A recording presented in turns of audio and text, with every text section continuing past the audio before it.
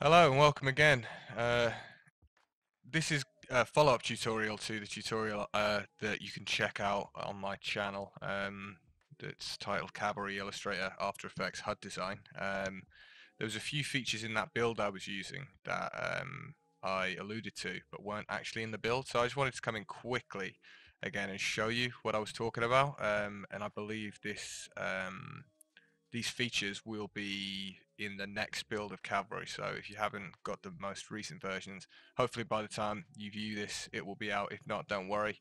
Um, the release is coming out shortly. That's 1.2, I believe, on the Cavalry release. So let's dive into it. Again, you can have any kind of design you want as long as it's an SVG. You can have as many as you want for this little kind of method to work. So at the moment I've got the design that you can see in the other um, tutorial that we did. Um, we designed it in that and we go over all of that in Illustrator as well. Um, so basically what I'm doing just to change the uh, the aspect ratio of this uh, project settings is we go into this little button here. You see it's like a little kind of sideways abacus in the scene window. Um, so you can click on that and you've got your resolution here. Um, I won't do, I won't go through um, these other settings just because I, I'm pretty sure that Scene Group have um, some really good tutorials explaining these kind of things in depth and the documentation is really good as well. So I don't really want to patronize you guys with too much of that stuff. But I'll shout out shortcuts as I'm doing them. I'm using a tablet to um, to do all of the stuff on this. I'm just getting used to it so if I'm a bit slow and a bit sloppy uh, bear with me. If you hold down alt when you click on this it will make the aspect ratio lock together. So you can do it if you take your finger off Alt and then hold up down on Alt, you're all good, or you can just type it in. And then if you, when you press return, hold down Alt, it will make them constrained to each other. So that's great. Uh, for some reason my SVG has come in a bit not in the center. So let's just eyeball this and we'll pop it down in the center. Oh, and this was a bigger resolution. So let's do, let's set it correctly. Okie dokie, great. It looks absolutely terrible when it comes in like this because this design is full of strokes and what it's doing is applying a fill. Um, so if you double click on your uh, SVG object in the scene window, come over to your attributes editor, which is over here, as you can see. And this is where all of, this is where the kind of parameters will sit and um, it's where you can make all of your adjustments. The same things go across Cavalry for shortcuts. Again, if we hold down the Alt button and move any of these, it locks in those two things so they, they do the same thing. Same goes for scale.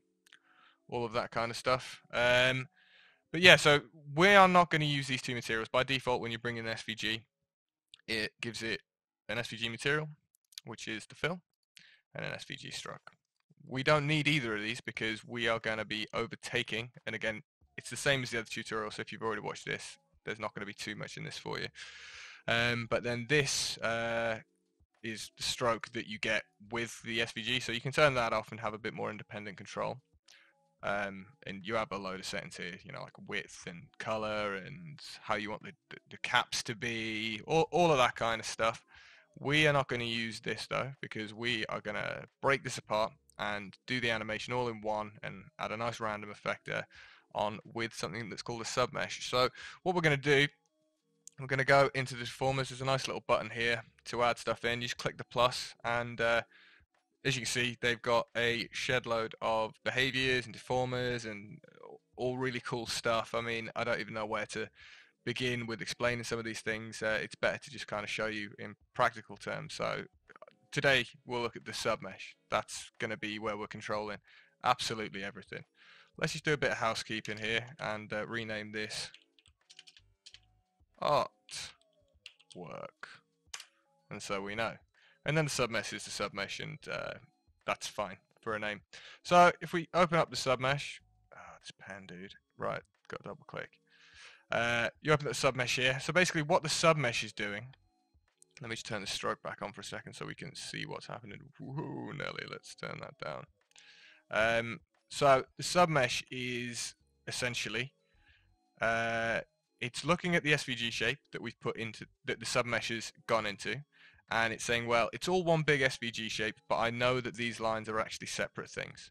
So what that um, the submesh is doing is basically saying, well, now I'm going to treat this SVG as though it was separate objects. So this line is a different object to this line and things like that. So we can then have independent control over um, each one of these lines um, in a kind of more procedural and fun way. So we don't need to come in and you know do everything one by one. So let's uh, let's kind of dive in. I had a little bit of trouble with these level modes, uh, but I'll explain in a minute um, what that was and what I think it does because I'm still not sure and I should have checked. I did promise to do that, but I lied. Uh, so we had the stroke back in, and as you can see, it's half of the design's disappeared.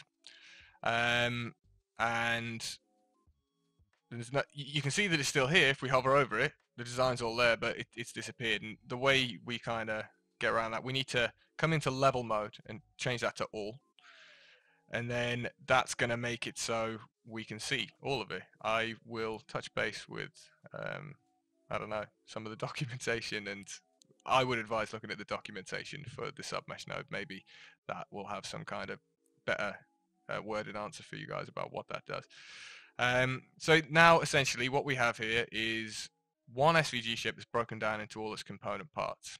Now what we want to do as animators is animate this as quickly as possible and have it look as good as possible. So let's let's dive right in.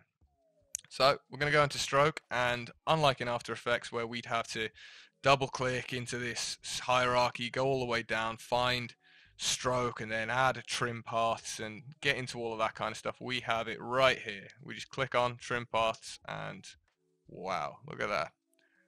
They all just come in and do their thing and you know, we have a really nice playback in in uh, in the viewport.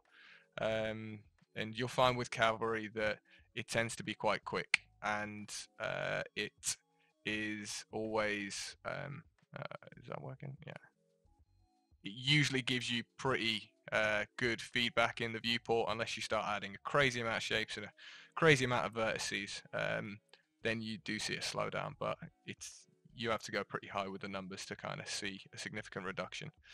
Uh, but the moment, our problem is that they all move together. They all start at the same time, they all end at the same time. So let's to start off with just set two keyframes on frame zero and I like to set the start and end at 50 um, because it means then that the lines start from the middle and go out instead of starting from just one end. So you get a kind of more even motion um, alongside. You don't have to do it this way.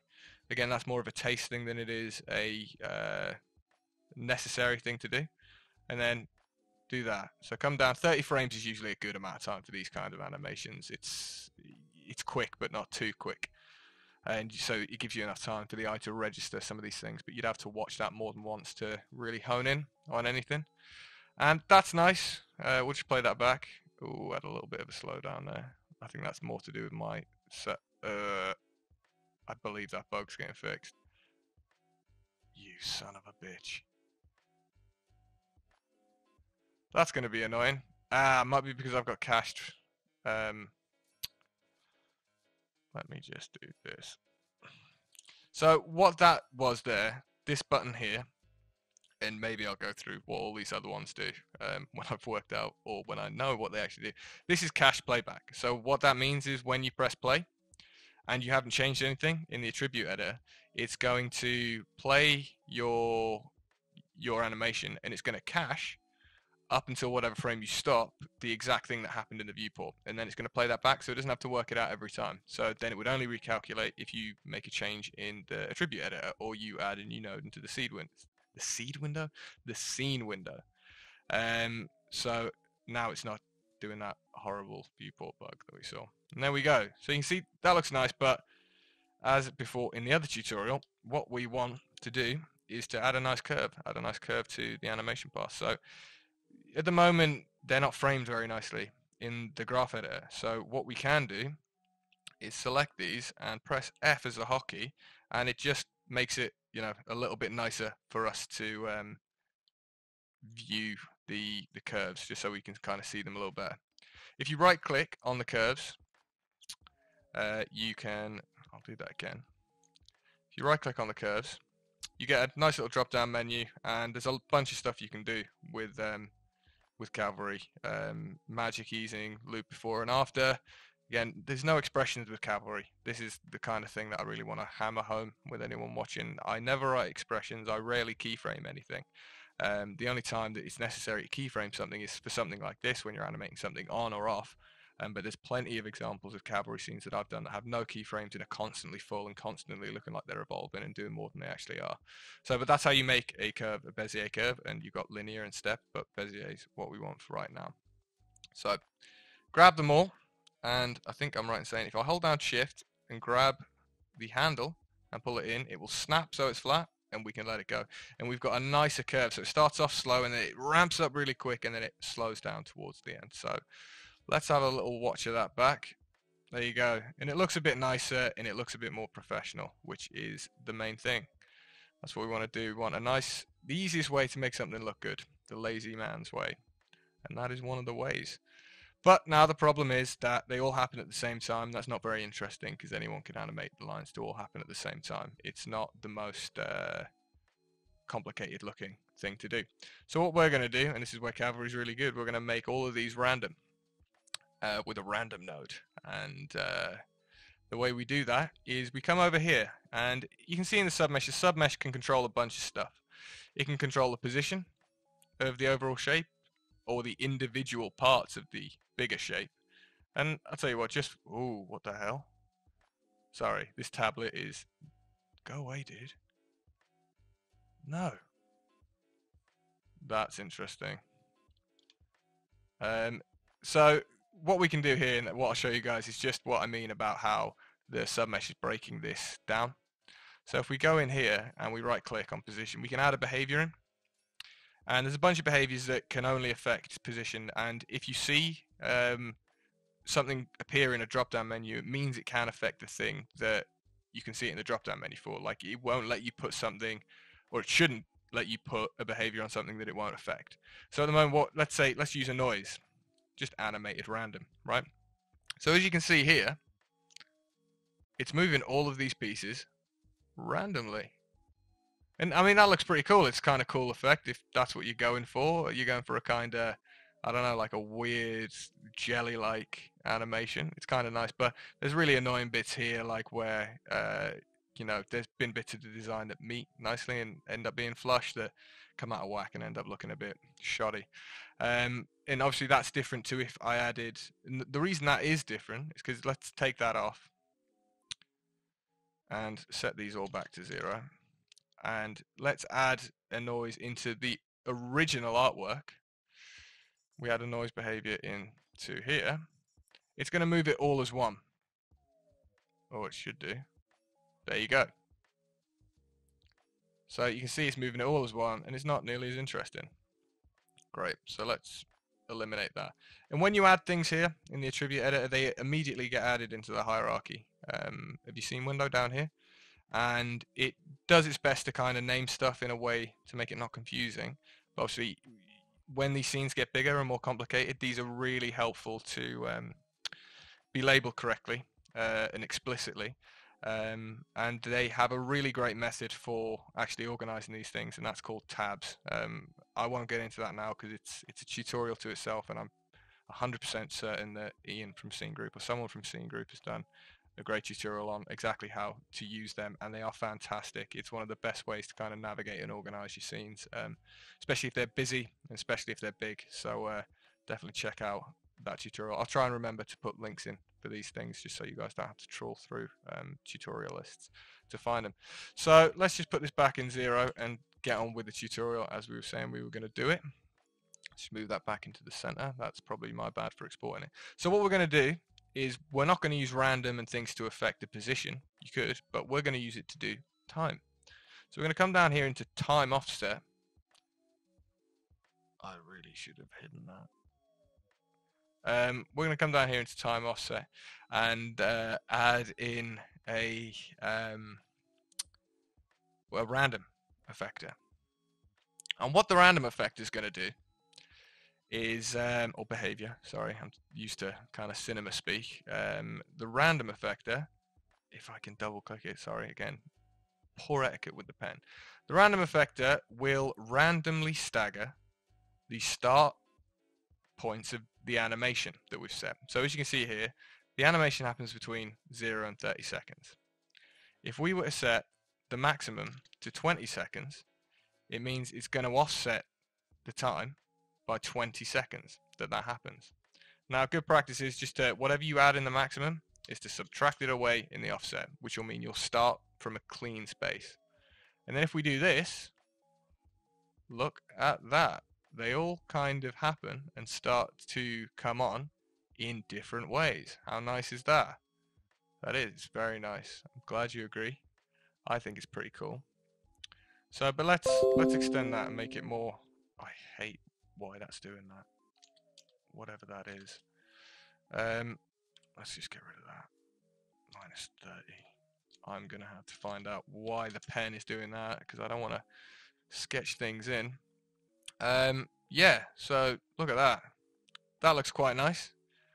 Now there are interesting things that we can do with the submesh that um, again, I'm probably not the best place to start messing about with right now because I didn't test this before I started doing it. But say if we wanted to not have it be random, but we wanted to run this with a fall off. So a fall off works the same way as it does in Cinema 4D, and this is why um, Cavalry is a really nice middle ground between these programs. It has things like fall offs and it has things like behaviors. It's it's almost like MoGraph in a lot of ways. It's like it's, but it's got elements of Houdini. Uh, kind of like 2Dini, and um, they've got nice things that will be kind of interesting if you have come from a 3D background to try and work out. Um, so I'm not exactly sure. I'm pretty sure I'm doing this in the wrong way um, because we'd have to. Let's yeah. Yeah, so say if we wanted, to, we'll take that off. This is just a demonstration. This is a little bonus for you guys. Um, Cavalry's got a bunch of cool things you can do. Oops, sorry, I'm using shortcuts and not explaining how I'm doing it.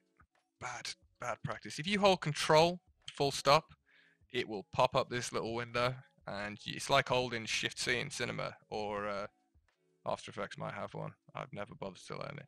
But yeah, it opens up a little window, press it any time and you can just come in and type what you want to see.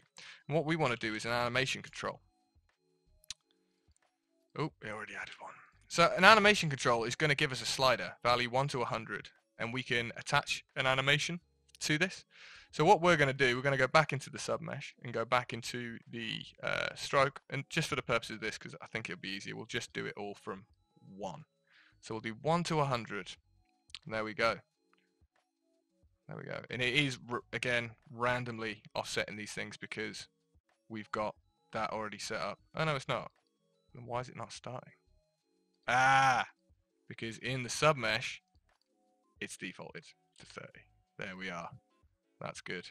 So within the submesh now, we've only got one set of keyframes. But what we can do is take this animation control and attach it to this, which stops these keyframes doing anything. The keyframes have absolutely nothing to do with anything anymore. But now this controls the animation. The animation control is now the it's like a master control and it's good for joysticks and sliders you can make kind of more complex controls out of this but now what we can do I think and again I might gonna be doing this in the best way so don't always be looking for me this fall off node is controlling the sub mesh no it's not because the animation control isn't connected into it huh we control this with a value, add a value, add a value into the animation control and set that value at 100. Take the fall off out of the submesh, go into your value. Add the fall off into there. Oh my Gideon, what is this madness? I mean, that's that's pretty cool, right? So what the fall off is doing is controlling the animation. So it's saying within that circle, we want uh, the animation to happen as the circle passes through. So the middle of the circle is the animation is completely finished. The outside of the circle is the animation hasn't started. So if we take this fall off and we smash a lovely, lovely noise into the position of that and add some bigger numbers, what we're going to find is that the animation randomly starts and finishes as we go. Now at the moment you'll notice that it's not being applied only in the circle of the fall off and that is because of a more advanced feature if we come up here and go into advanced. If we turn off position and we turn off incoming index, there we go, it gives us the effect only within the confines of the fall off itself. And we can make that bigger so we kind of get something good um, that you know you can see a little bit better so it, it actually finishes before it goes out. Now if we only wanted it, if we wanted there to be less of a fall off, we can just come in here and do things like this, and we can swap them around. Cavalry's really great. This is um, a context graph, I believe is what they like calling it. And um, you can just change these curves. They've got a, couple of presets down here, but then you can flip and reverse those presets. So um, you don't have to manually do stuff. You, can, you don't have to really touch stuff. And then we can just press play. And look at that. We've got a never-ending, random uh, animation of a kind of hard, weird kind of graphics thing. And what we can do is uh, come into that noise and we can loop the noise. So the noise we've added to the value, to the fall off position, we can come into there and uh, there's a little looping tab here that you can see and we can click that and uh, it's going to then loop this at 250 but say we don't want it at 250 we want to loop it at 50. Let's loop it at 50 because we don't have time. So we're waiting all day. It's going to be super quick. That is because it's trying to work itself out and the way that the, uh, I don't know, algorithms make it do it. So I find if you do loop stuff, you kind of need to drop it down to about a quarter of the speed that you had originally and it will give you um, a looping bit of randomly generated noise. Um, so, pretty cool. Not what we were doing before, but I thought you guys might be interested. And uh, that is the beauty with Cavalry, is the fact that a lot of the time when I come in to make designs, um, I end up doing something completely different. Um, because Cavalry lets you. Cavalry lets you um, start to do something and then end up doing something completely different um, because it's got the power to be very experimental. Whereas, say if you were doing this in After Effects, you kind of know what you're doing, and uh, you go towards one end, and there's less time for experimenting in this way. Uh, I mean, you can experiment in After Effects, but it's you, you, you couldn't do this kind of thing in um, Cavalry. Let me just set that back up quickly what we had before, um, because we have uh, deviated slightly from the tutorial. So again, to show you again, we go into the submesh, into the time offset, add a random, go into the random, in the maximum put whatever value you like, but I like to do kind of this, and it's going to offset these things, and ooh, almost forgot about the curves. Let's select these, do this, curve interpolation, and whoop. There we go, just scared my dog making that noise. Great, so what have we got? And this is where we're at. This is where we got to with the last tutorial, and I failed because they didn't have the, uh, uh, it couldn't do what I wanted to do. Um, but now it does do what we want it to do. So let's have a look at what that is and what it does. And we're going to use something called a length context node. And basically what the length context node is, is a node that tells you um, what um, it looks at how long things are. And it's useful when you use nodes like and again we'll go into these in other tutorials maybe connect shapes uh, which connects vertices right? Like um, makes a cool kind of plexusy effect and there is a node called trails which um, leaves kind of, it's like a simulationy kind of thing that leaves a trail behind moving vertices um, or center of points and things like that so it's a really useful tool and it does two things um, at least that I use it for. There will be other applications just because of the nature of kind of the scope of Cavalry, but these are the things I use it for. So we've got a length context here, and it's got a couple of uh, it's got a couple of attributes that uh, I'll quickly talk you through. You've got the remapping type, and you've got number range or number range to color. Number range is going to take an input, um, and it's going to change those numbers and re-output them in a different way. So in this case, the source minimum and maximum is the length of the line. And then the minimum and maximum going out will be the width of the line because what we want to do is make the length of the line directly correlate to the width of the line. Um, and it's a really simple way to make the short lines, which are kind of usually a lot more of a fine detail, uh, appear less thick than the long lines, which we want to be more prominent because they're the main elements of this design. And because we haven't really considered this design in terms of functionality, uh, we just kind of want to add stuff in as quickly as possible to make it look as good as possible without really needing to think about anything. And length context makes that possible. So we're going to take length context and we're going to pop it in to the submesh width. Oh, it works. I'm so happy about this. I, have never done this before, um, so bear with me.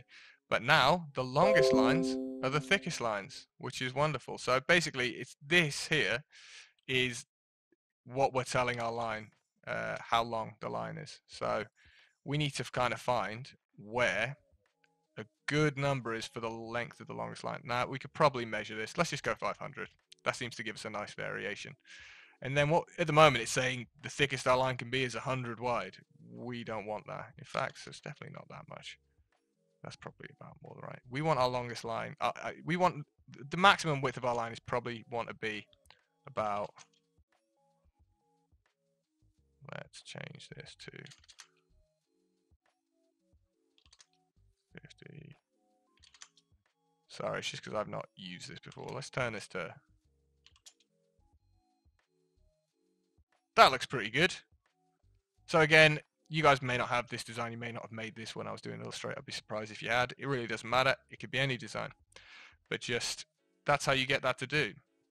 Um, what we were talking about is just make those lo bit thick, longer lines thicker and the shorter lines the other way. Now we can flip that easily. We can go into the graph and just say we want to have the, the thick lines, the short ones, and you know, in fact, that kind of looks a little bit cooler. Or we can start adding in points. Uh, we can go add a point here and just say, well, we want both the short and the long lines to be thin, but the middle lines to be thick. And that actually probably gives us a, a much nicer. That is, that's the nicest one. For me, anyway, that looks the coolest. And look at that. We've got a randomly animating set of lines like this. So let's go back into the project kind of settings here and change the background to black because that's how this kind of artwork is usually viewed. And then let's let's apply the same logic to the color. We want the middle lines to be a different color to the long and the short lines. So let's come into here and make another length context. Sorry, my dog is going mental. Let me just... Great. Um, sorry about that. Uh, dog props. Um, this, why have those lines gone mental?